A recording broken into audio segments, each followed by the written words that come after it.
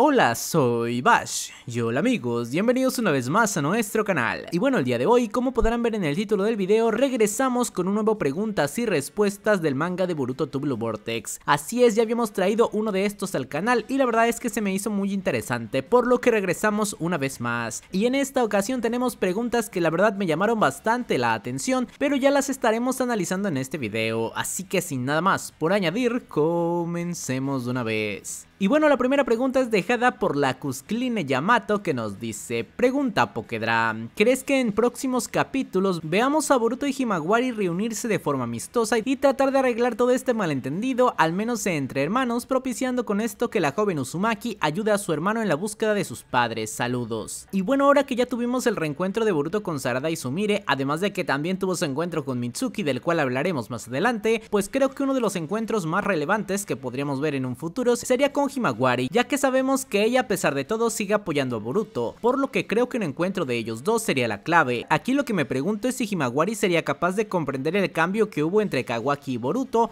o por otro lado como comenté anteriormente, simplemente trate bien a Boruto porque de por sí ella quería a Kawaki, así que me gustaría ver cómo funciona todo esto y si es que ella realmente llega a comprender que sus padres realmente no han muerto, ya que creo que no se ha explorado suficiente lo que siente Himawari, debido a que básicamente le arrebataron todo lo que tenía y el hermano que le quedó que supuestamente es Kawaki, pues parece que no le da mucha atención, por lo que en este punto, a pesar de que sí, obviamente Himawari quedó como la hija del Hokage, realmente al igual que Naruto en los viejos tiempos, quedó completamente sola, por lo que sin duda alguna creo que el desarrollo de este personaje podría ser muy relevante. Pero bueno, continuamos con la segunda pregunta que es de Anime Couple Lovers y nos dice, pregunta, ¿con quién te gustaría que se quedara Boruto al final de la historia? ¿Con Sumire o Sarada? Yo en lo personal soy más Team Boruto por Sumire y tus saludos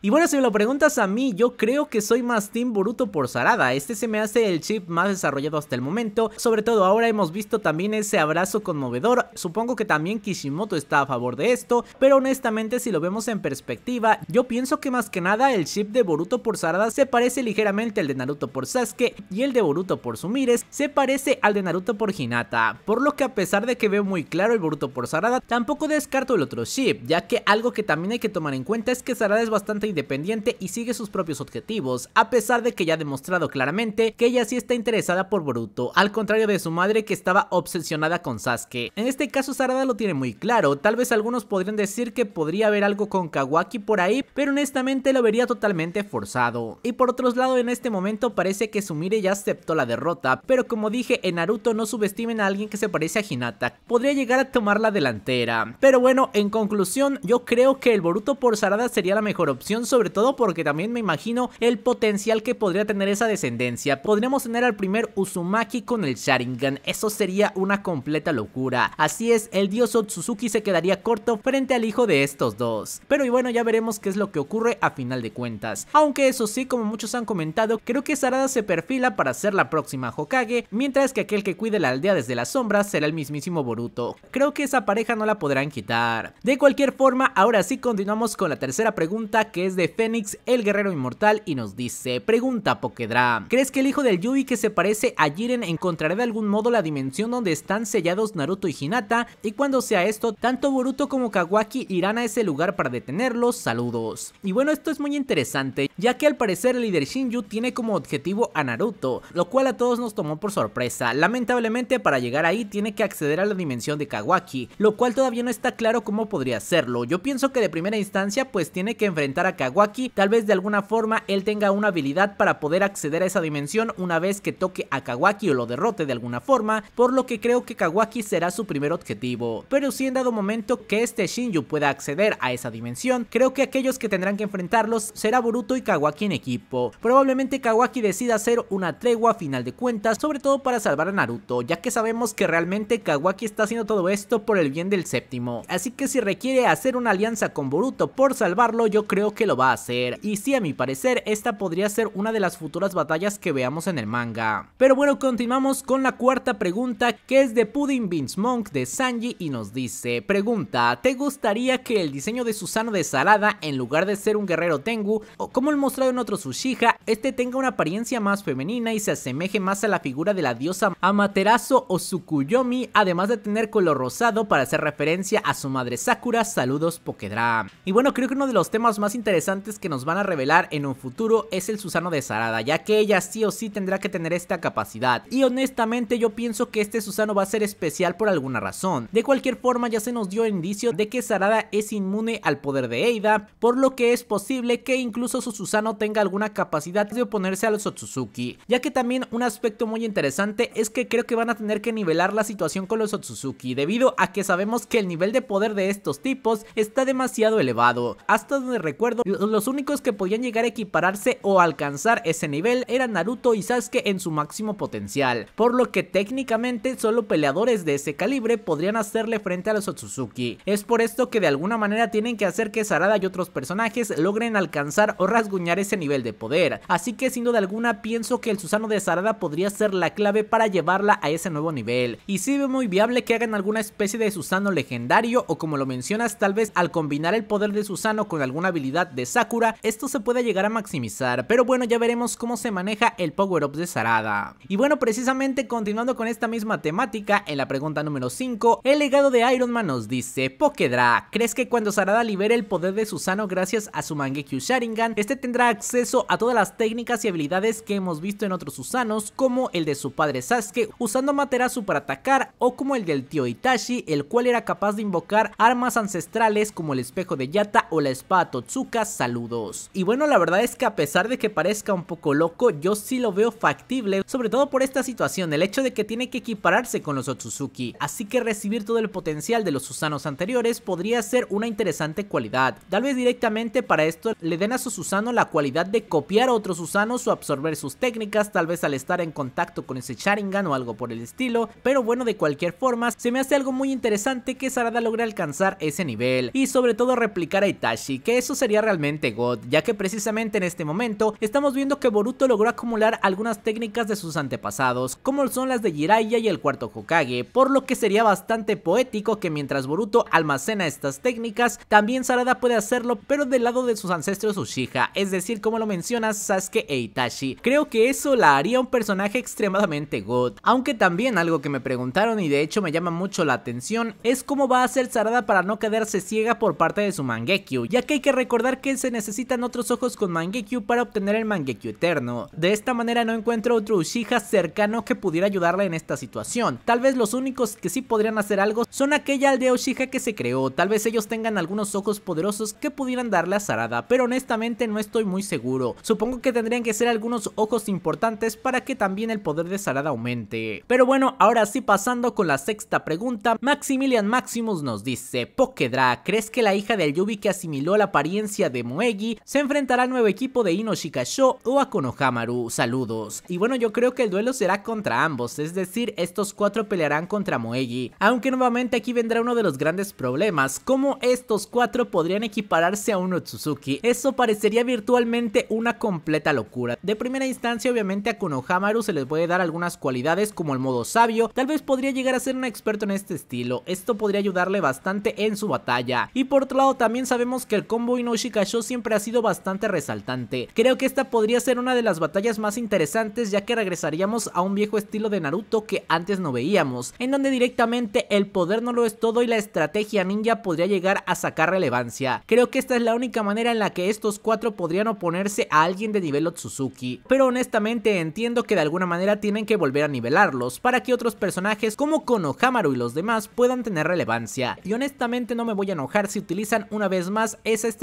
ninja que teníamos en Naruto. Pero bueno, continuamos ahora con la séptima pregunta de frases épicas del anime que nos dice, pregunta, ¿crees que en un futuro veamos una batalla de tres bandas entre Sarada, Sumire y Yada, así como también un combate entre Himawari y Daemon, ya que al parecer la joven Uzumaki es la única cuya habilidad del chico no afectaría en una pelea? Saludos Pokedra, y te dejo la frase, quizá el hecho de que Jiraiya Sensei haya escrito este libro y que alguien como tú haya nacido en este mundo caótico sea obra de la verdadera voluntad de Dios, Nagato Uzumaki Naruto Shippuden. Y bueno, respondiendo a la pregunta, yo creo que sí va a haber un evento muy importante entre Sarada, Sumire y Yada, ya que sabemos que el secreto de que ellas son inmunes a la clarividencia se ha guardado hasta el momento, por lo que creo que eso tarde o temprano va a cobrar relevancia y se tiene que descubrir la verdad, por lo que Sarada y Sumire tendrían que enfrentar a Ada de alguna forma. Creo que uno de los grandes conflictos que va a tener Ada próximamente es el ataque de Bug, otro de los Shinjus, y es posible que en ese momento Sumire y Se vean obligadas a revelar la verdad. No sé si atacando a Ada porque supongo que ya es más o menos una aliada, aunque también es un poco algo neutra ya que también apoya mucho a Kawaki, por lo que hay posibilidades de que se ponga a favor y en contra. Y hablando del caso de Daemon, honestamente creo que este es el que se va a enfrentar al Shinjo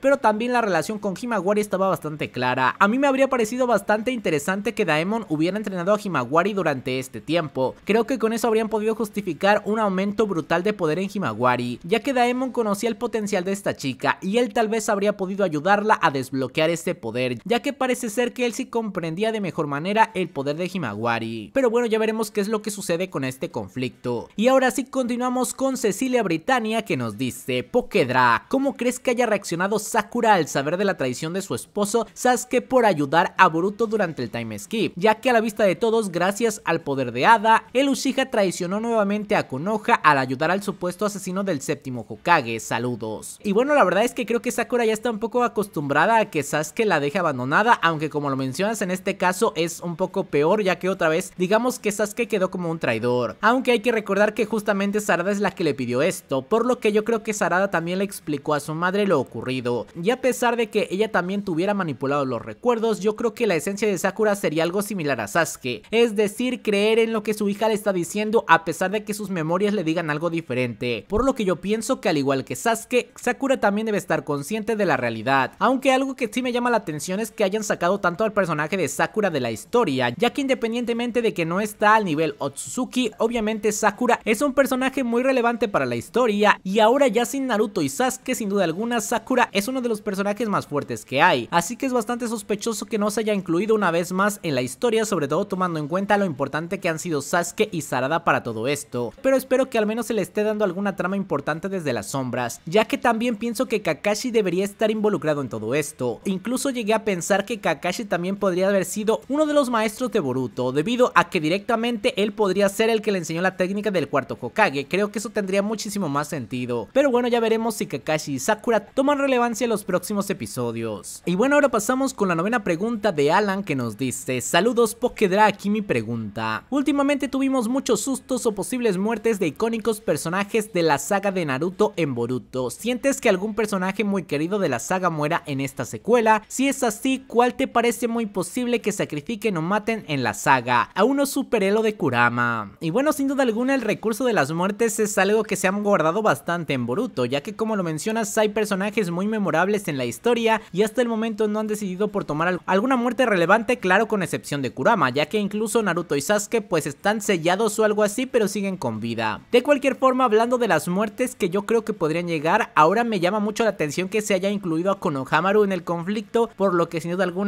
él podría caer en algún momento de la batalla. Y también ahora que Shikamaru está cobrando más relevancia e importancia descubriendo el secreto de Boruto y demás, creo que él también podría estar en riesgo de alguna traición. Sin duda alguna, una muerte de Shikamaru sería realmente devastadora, pero bueno, directamente creo que la razón por la que no hay muchas muertes es que como dije han descartado muchísimo a los ninjas normales. Y estos han tenido muy poca participación, centrando mucho el protagonismo en el equipo 7, pero esperemos que a partir de ahora otros personajes puedan participar y bueno también se vengan muertes relevantes, aunque espero que sean muy épicas, ya veremos qué es lo que sucede. Y ahora sí pasamos con la última pregunta que es de Big Boing y nos dice, hola Pokedra, aquí mis preguntas. Número 1, ¿crees que el Boruto vs Mitsuki sea un combate parejo o Boruto será muy superior? Y con la pelea, ¿crees que Mitsuki se dará cuenta o por lo menos sospechará del cambio de roles entre Boruto y Kawaki, así como lo hizo Shikamaru? Y bueno, excelente pregunta. Primero hablando del combate, personalmente creo que Boruto tendrá que ser superior, aunque hay una clara diferencia en este combate, y es que Boruto no tendrá intenciones asesinas, mientras que Mitsuki irá con todo, cosa que es una completa desventaja, además de que también hay que tomar en cuenta que Boruto no ha usado el karma todavía, por lo que es posible que gracias a esto Mitsuki pueda equipararse un poco más al nivel de Boruto, aunque hay que recordar que incluso en estado base Boruto derrotó a Kode, así que tampoco estoy muy seguro, de cualquier manera Mitsuki se me hace un personaje bastante